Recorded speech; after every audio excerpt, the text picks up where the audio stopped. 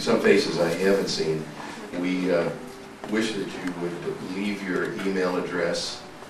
Uh, We have a pad in the front so that we can keep you posted on uh, the events that'll be coming up. We're going to be, in January, we, we, we're going to have kind of an interesting, we're going to have Howard Alden here, Mundell Lowe, and me. Anyway, we're doing some concerts, so we decided to do a workshop with the three of us here, which, uh, and that's going to be, it's, uh, it's going to be early in the, uh, it's the first uh, Sunday, I believe it's the fourth. We will be sending out emails about this and, and, uh, very soon. And uh, then we're real happy for February to have Carl Verheyen right here, who's going to be doing his workshop. And that should be, uh, that should be a a one, a great one also. And uh, what was the date we had? Was that this? I should have had the, I think it's the 15th, it's about the middle of the month. And we're going to be planning to send out maybe groups of threes for the year, if we have them booked in advance, and try to do some like special price for three. Uh, we have big plans, but we'd like to see a turnout like this uh, every, uh, you know, it's once a month, so. And it is, uh, we do have some special people here, so we're, if you, anybody, anybody had any ideas about how to get the word out, please uh, talk to me, okay? And one other thing, uh, I'd just like to find out how many people today, uh, how did you find out about this? Was, uh, raise your hand so that we have an an indication. Uh, By email, we sent out, okay. Uh, All right, and Word of mouth. Word of mouth, I would say. Word of mouth? Yeah. Who's the parole board? So most, I'd say word of mouth again. So spread the word. And uh, again, if you have an email address you want to be notified, please uh, leave it at the front door. So I'm going to turn you over to uh, Mr. Ted Greene, who's doing his Christmas.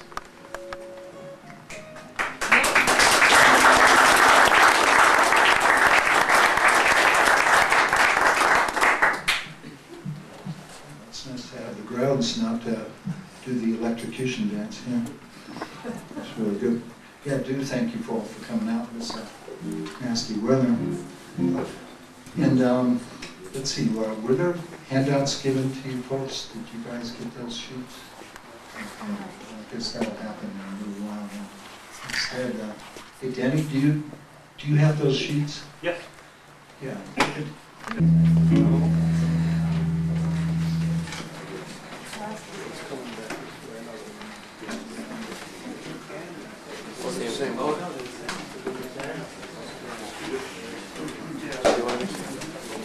the Gibson guitar is very polite, well-mannered, you know?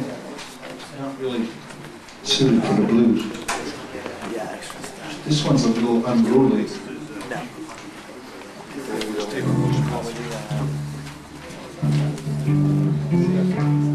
Because she's tuned really low, well, not that low, a couple of keys.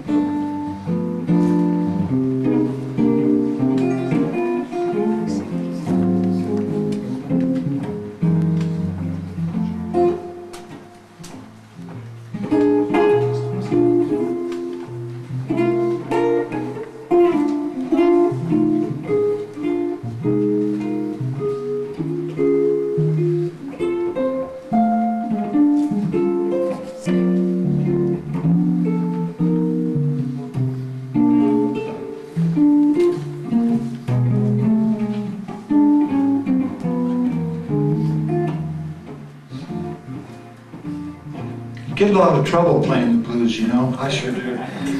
You see me trying to get out of it too. Because you just let uh, some melodies try to take over, but sometimes the chords don't know what to do. Sometimes it's reversed. Herbie Hancock, I like what he said about playing. He said, there are three things. Sometimes he lets his mind run everything, and then sometimes he lets the hands run it, and sometimes he lets the ears run it.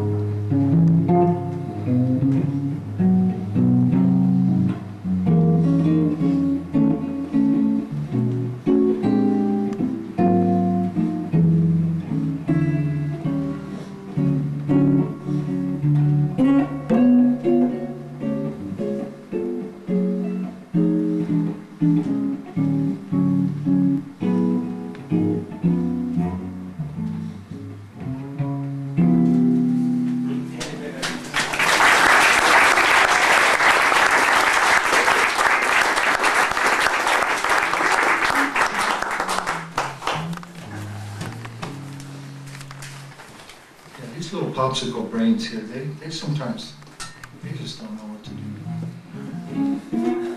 But they'll get better as things go.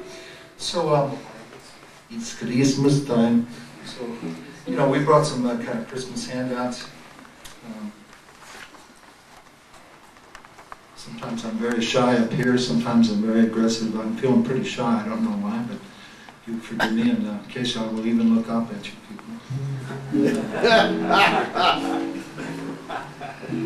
Um, The, uh, the handouts, we have, um, one of the pages is very busy looking, it's got uh, various harmonizations of the beginning of, uh,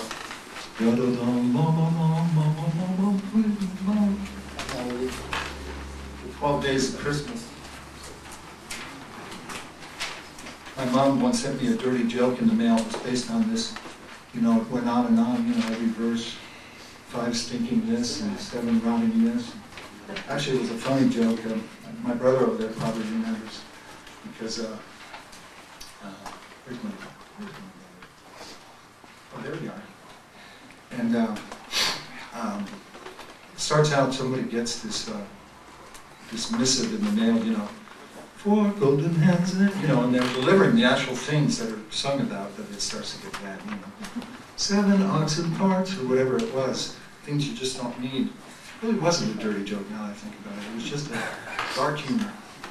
But we won't worry about all that, we do have some notes on this page. I should explain the, the system, for those of you who haven't seen my hieroglyphics here.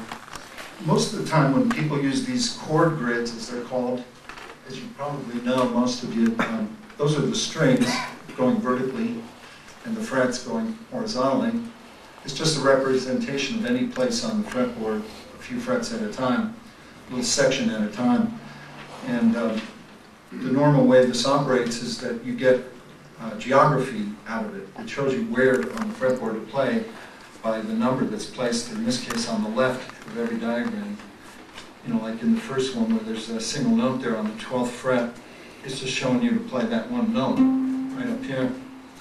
But um, the system I had to evolve as a, as a guitar and music instructor, and especially a guitar instructor in this case, it became necessary to show more than geography. It, you need to show chronology sometimes too, you know, uh, when things are played. So you'll notice up there in the top left corner it says playing order. So the dots are all played first, and then an, anything with an X, either separate or on top of a note, that comes next. Anything that's X'd or crossed, you might call it crossed. And then uh, the last thing is a square or box. If we need to show three different attack points in a diagram, we use that. And uh, on this page, we didn't need more than that. So now let's talk about those spaghetti lines. Uh, it wasn't a bad day with the inkwell. It was on purpose. Like, for instance, between diagrams one and two. That's for those of you who read notes. It simply is like a tie in music. It means don't strike the second note, or to put it in reverse, sustain the first note. So we have this. Uh, yeah, this ringing as we get into diagram two there. We're going to go back to this guitar that's strung at pitch. So if anybody's taping this, you'll hear it at concert pitch.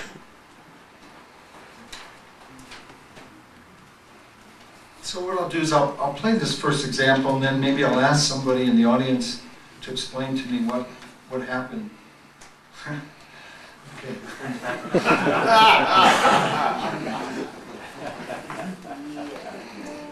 what happened here? It's an ancient Babylonian art of chord collision, I think.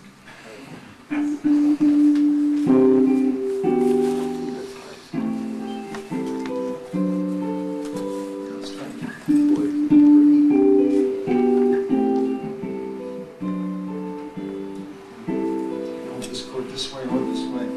The little numbers in the diagrams, like in the fifth diagram underneath it, it says 3324. It's just barely readable there. That's, uh, that's the uh, left-hand fingers. And of course, it's not like piano. They call this number one on piano, I think. But guitar players just like them one, two, three, four. Um, yeah, so, so anybody, what, what happened there? What happened there, John? So what's up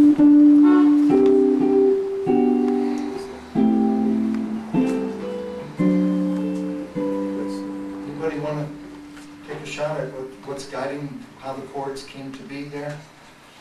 We know what the melody is. Say what? Descending bass. Thank you, Forrest. Thank you very much. Um, Any particular kind of descending bass line? hearing? What'd you say? Chromatic? Um, well, no, uh, chromatic means, Scale, scale. that would be, this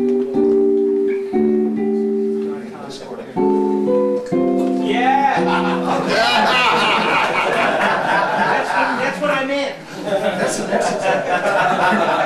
the flat nine on the bottom. that's right. Yeah, the eleventh in the bass, next to the flat nine. It's all being demolished. Yeah, yeah. No, actually, the key of D, demolished. Admonish.